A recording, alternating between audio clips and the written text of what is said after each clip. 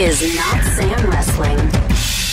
Introducing your host from New York, here is Sam Roberts.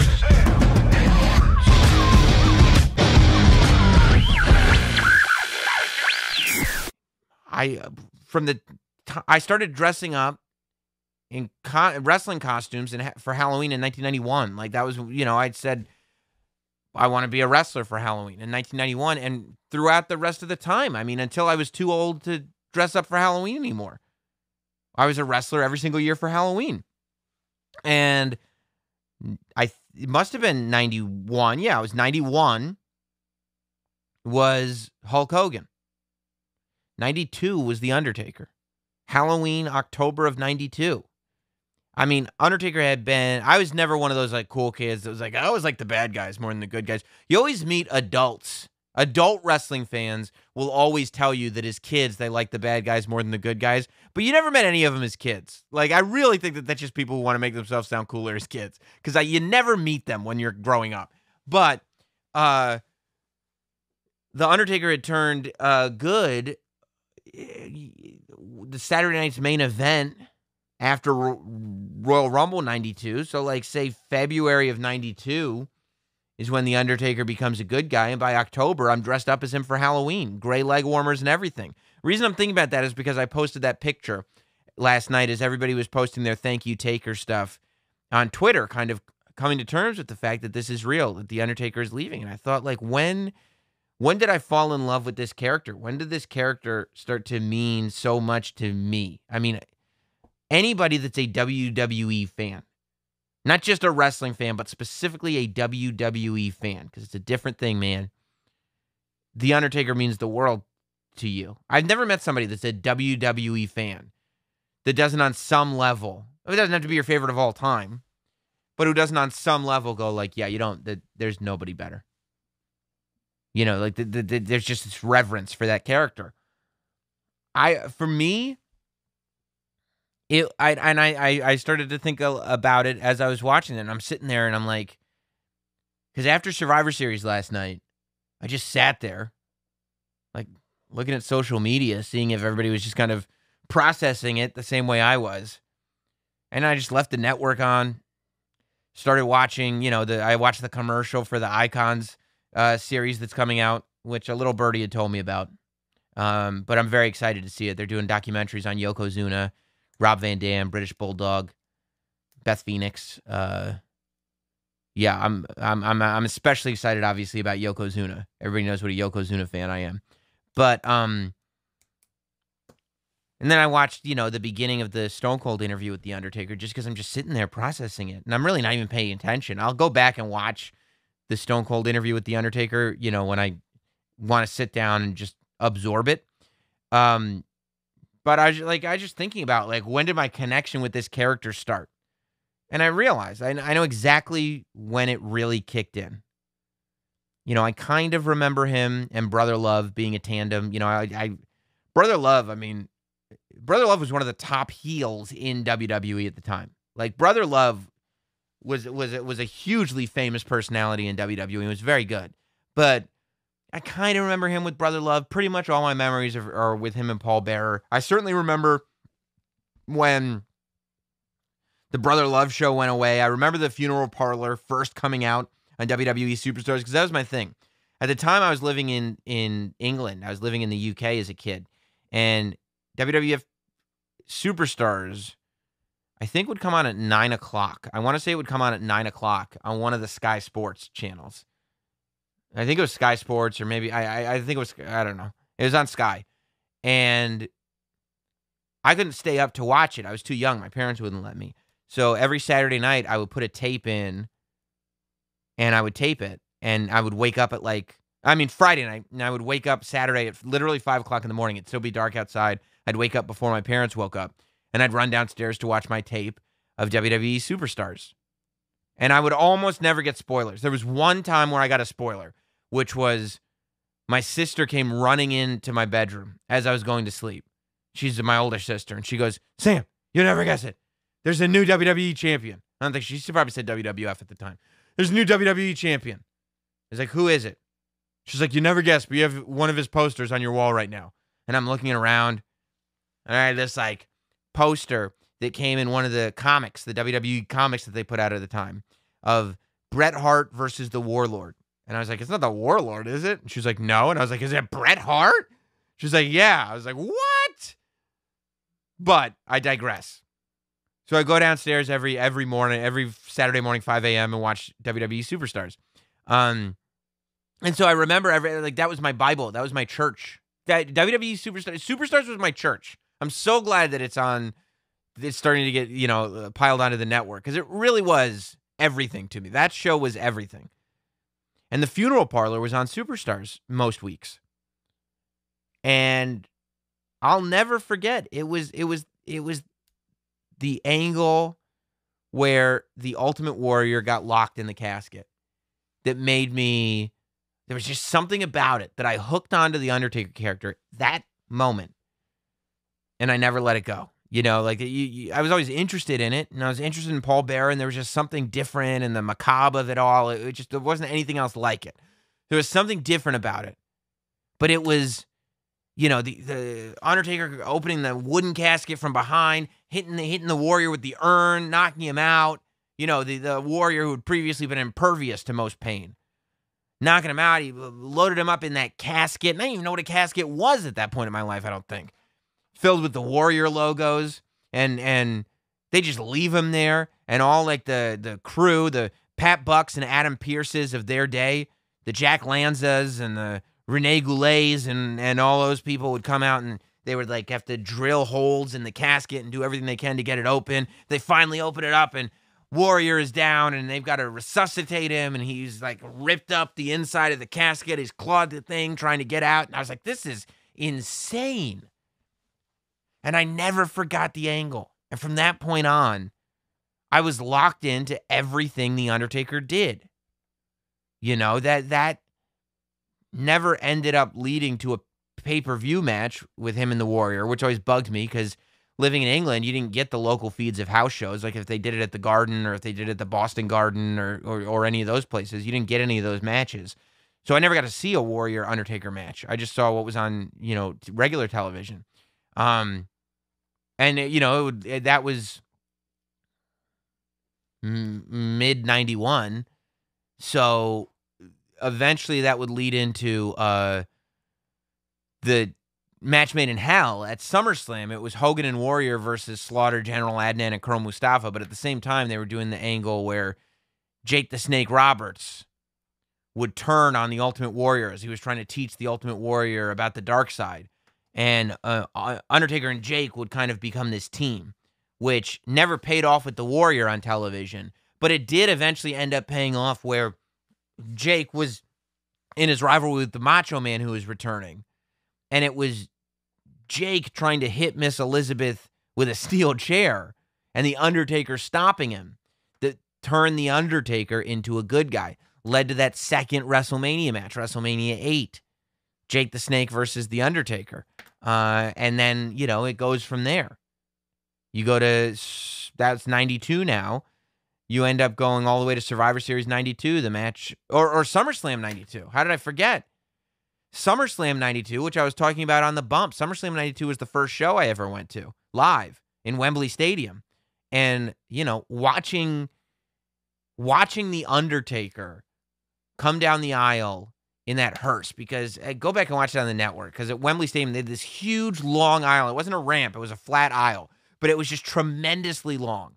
Oh, the LOD came out on their motorcycles and the Undertaker came out standing uh, on a hearse. I don't remember. He was either standing through the sunroof or I believe he might have been standing on the back bumper or something like that. But he was carried out to the ring in a hearse. And it was really the first time he got an entrance that made it feel like, oh, this is the phenom. This is something different. This, ladies and gentlemen, is, as Vince McMahon said at Survivor Series last night, and he still got it with that voice, The Undertaker. And you're like, whoa. That's when the you know the entrances started where you're getting the goosebumps and everything and it's this is special. But that was his match with kamala. After that the survivor series 92 coffin match the first ever coffin match in wwe undertaker versus kamala. Then you're getting into 93 and 93 is when the undertaker really you know when we start to when we now hogan's gone Macho, Warrior's gone for the second time. Macho is no longer a top spot guy. They're going with youth, and the Undertaker is is getting this sort of spot as a main event level good guy. You know, I mean, unfortunately, he spent some time with the Giant Gonzalez that year, but you know, he ends up captaining a Survivor Series team with Lex Luger. I don't know if he was the captain, but he was high ranking anyway. But that's to me. I mean, it, it- so so. What I'm trying to say is the funeral parlor for me started the connection with the character, and and it's gone on ever since. It was 30 years to the day. November 22nd, 1990, was the Undertaker's television debut for the WWE. November 22nd, 2020, was the Undertaker's official retirement from the WWE. 30 years ago, if you're downloading this podcast when it's released, 30 years ago today, people were talking to each other. Did you see Survivor Series last night? What about that guy on DiBiase's team, the Undertaker guy? Man, what was that all about? 30 years later to the day, it's, oh my God, did you see Survivor Series last night? Can you believe? Did you get choked up? Did you get emotional? It's wild, man. It's wild. I, uh, yeah, I got I got a little emotional, and you know, I I, I did have to take some time to process it because it was like you have so many different kinds of expectations going into it. There, the you know, you you connect on such a personal level with a character like that that there are ways that you want it to go for yourself. You know, Hot Dog was texting me while it was on, going like, you know, why wouldn't they just let him speak as himself? And it's like, dude. We've heard him speak as himself. I talked to him as himself, you know, on the Notsam Wrestling WWE Network show. We heard him. We saw him on the Stone Cold show. We we've seen him in People magazine. Like we know him as himself. This retirement was about the character. It wasn't about the man. The I this ceremony was not about I mean, to an extent it was about giving the person his respect but ultimately, it was about the connection between the character of The Undertaker and the WWE and the WWE universe and all the fans and everything. It was that that to me was what it was about. And that's what I'm sitting there and I'm watching this guy. And I'm like, man, this is my entire life. This is my entire life that I'm watching through here. And anybody who's even around my age, that's the emotion that you're experiencing. You're experiencing the same thing. That there's the, the it's this omnipresent character. Death and taxes and the Undertaker in WWE. It's just always been. Without question, you know? And the idea that it's gone and people go like, "Yeah, well, it's gone until the next time we've seen this before." Maybe, hopefully, to tell you the truth, I hope that he can't stay away. But look, he's never retired before. He hasn't. Like, he put his gloves down. The Roman Reigns thing was the closest he's ever come. But the fact is that the Brock Lesnar loss was never supposed to be The Undertaker's last match. It's been now confirmed. If you watch the Brothers of Destruction documentary, they say it. The Undertaker was supposed to beat Brock Lesnar until the day of.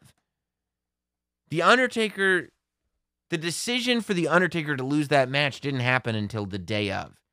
That wasn't ever supposed to be a retirement match. That was never supposed to be his last match. He was supposed to win.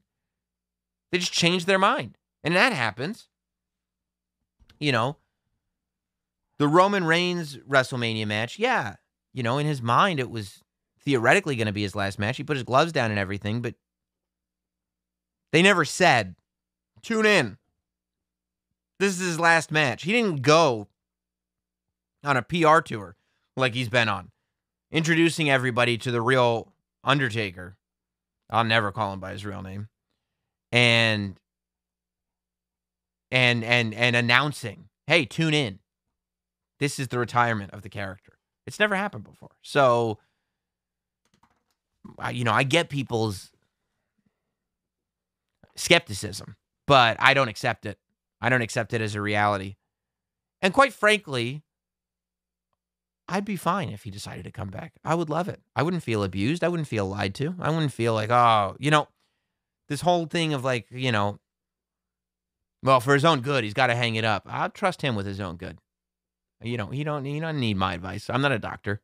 I'll trust him with his own good. If he wants to entertain me another match, I'm going to let him. I'm going to let him because I want to see it. I want to see it. I had to process the retirement because I was sitting there hoping that somebody was going to interrupt up until the last minute, literally watching him walk back through the entryway. Whatever, with each step. After the Survivor Series copyright thing came on, I was like, wow, we've seen this before. This could be something else. As he's walking, I go, wow, I mean, all the people that were there to celebrate him aren't there anymore, so there's nobody there to protect him. I mean, until the commercial came on that said, this is a pre taped commercial for a series that's coming out next year. I was like, something could happen, something could happen, something could happen. And it wasn't because I thought it was necessary. It wasn't because the segment required it. It wasn't because that's how I wanted Survivor Series to end. It was because I don't want to say goodbye to The Undertaker. It's the same thing I said on the bump before Survivor Series. I don't want to say goodbye to The Undertaker. If somebody came to me and said, What would you rather do, Sam? Have some random dude come in and interrupt it and just throw together some WrestleMania match or say goodbye to the character? I go, random dude WrestleMania match thrown together, please. One more. Just watching his entrance. I'm like, I don't want this to go away. I never want this to go away. And it never will. It never will, you know. I mean, the legacy will live forever. The network lives forever. The tapes live forever. And even if the network goes away, you think I got rid of any of my WWE DVDs? I got all of them. All of them. I literally sold my entire DVD collection, except I pulled out all of the wrestling DVDs. All of them I still have. Oh, DVDs don't work anymore? Good. Every VHS tape I still have. All of them. I was a tape trader in high school. Hundreds and hundreds and hundreds of VHS tapes are in my parents' house. Sammy, can we get rid of these tapes? No, of course you cannot. You never know. You never know when I'm going to need to watch The Undertaker versus The Undertaker at SummerSlam 94. You don't know. You don't know. What if the network goes away? What if the internet goes down? What if HDMI ports don't work anymore and I need to connect through the RF inputs? Good thing I got this VCR and all these VHS tapes. I got to watch Undertaker matches. That's what it's all for. Uh, it was interesting that they brought out. Eh, it was interesting because there were so many elements, right? So the the farewell of the Undertaker, it goes, um, all of, you know, the people that meant something. I was glad that Vince McMahon came out. I was worried that he wasn't going to be a part of it the way he isn't a part of some stuff, but I was glad that he was there. Um, surprised that he was got his own thing, like that everybody that was there for the Undertaker split. Like, I don't know that they needed to have Kane. Corporate Kane could have said goodbye to the Undertaker. You know, I mean, I, I don't know that Mayor Glenn had to dress up as Kane for this thing, right? You didn't even talk. It would have been badass if he dressed up as 97 Kane. If they had found some 97 Kane gear and had him wear that, that would have been badass. They really should have had Brother Love come out, though, as well. Br- Pritchard should have been out there. I don't know why. I, I should ask him at some point because Bruce Pritchard absolutely should have been in that ring. Bruce Pritchard not only had a lot to do with the creative of The Undertaker, he was The Undertaker's first manager. You see him on all these documentaries, he's producing all the vignettes. He had a ton to do with the Undertaker and Kane storyline. I mean, this eh, if anybody deserves to be out there, I would have thought that Bruce Pritchard would be out there. It was weird that he wasn't. It was odd. I wonder whose choice that was. I would love to know. Um, but seeing, you know, cool to see Big Show, Kevin Nash. By the way, you should have seen the text I sent to Corey Graves. Hey, idiot! It is WrestleMania 12. I hope it wasn't just me that texted him, but I, I texted him after he said it was either WrestleMania 11 or it was 13, not 12, Cole. And I was like, hey, idiot. Yes, it was 12. Undertaker versus Diesel was 100% WrestleMania 12. And then he was like, uh, I, I stand corrected. It was 12. But, um, yeah, Kevin Nash and everything. Uh, I love that the, the uh, BSK was out there. Savio Vega. Good. Always great to see Savio Vega back on WWE TV. I'll tell you this. Assume if they were in shape to do it, the Godwins look bad ass. I would put the old Godwins on my wrestling television today. They looked scary. A couple of old men, shaved heads, white goatees, tatted up, overalls with no shirt under them. The Godwins looked badass at Survivor Series. I wouldn't mess with them. Big Show, Shane McMahon, Godfather, Shawn Hunter. That was my thing. I wanted to see Shawn Michaels super kick The Undertaker in the middle of the retirement speech, lead to one more Shawn Michaels Undertaker match. I wanted to see something. I wanted, and it was not because I didn't want to see a great retirement ceremony for The Undertaker. If that would have happened, I would have wanted another Undertaker retirement ceremony the Monday after WrestleMania. I just wanted another Undertaker match. Then they played the video package, which was great. Interesting that it wasn't, it was very Undertaker ish. It wasn't soft and emotional. It wasn't a tearjerker so much because it was aggressive. It was Metallica, you know? Then Vince comes out, does his deal. The Undertaker. And he says WWF. Very memorable speech from Vince McMahon, I think. And then Taker comes out, man. Spectacular entrance. I'm so glad the entrance went well. Because that's, I mean, you got one shot at it from the electrocution things to the slow walkout. I thought the the Thunderdome looked incredible with the with the leveled screens behind him in all purple. You know, and it just looked and the fog was going and everything. I mean, they really used the production value of the Thunderdome for this. They got the thank you Taker chants going. I wonder whose voices those actually were. I would love to know. And his speech was quick, man. Uh, and I'm sure people wanted more. And I'm sure if The Undertaker wanted to do more, he would have been able to. But he said, I mean, that's this is the quote that's going to live forever. It's time for me to let The Undertaker rest in peace. And you're like, oh, I mean, that one hit hard, man.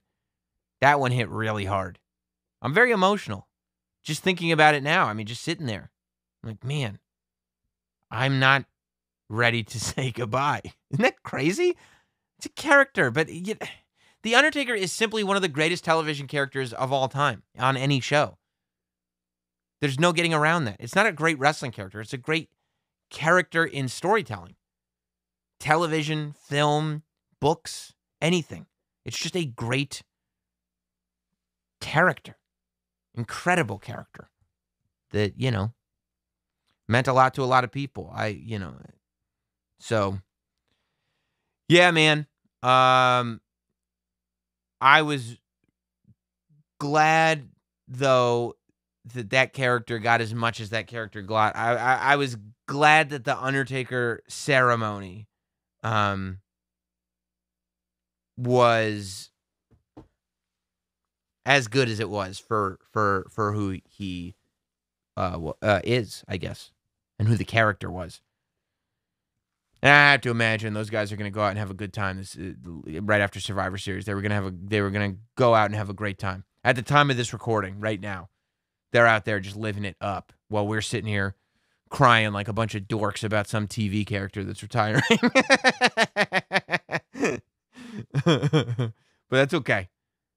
Can't be ashamed by it. There's no reason to be ashamed by it. If anything, take pride in it, man. I have I have a, a, a, a, an acrylic on velvet painting of the Undertaker. That should be hanging right here.